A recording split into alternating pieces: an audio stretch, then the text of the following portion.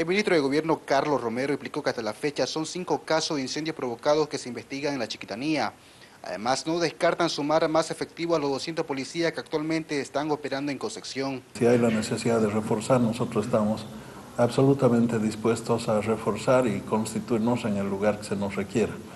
Eh, si es necesario para no debilitar el trabajo y seguir acudiendo a relevos o refuerzos de policías de comandos del interior lo vamos a hacer también, pero el, compromiso de la policía es absoluto hasta que hayamos superado totalmente este problema de los incendios en la Chiquitanía.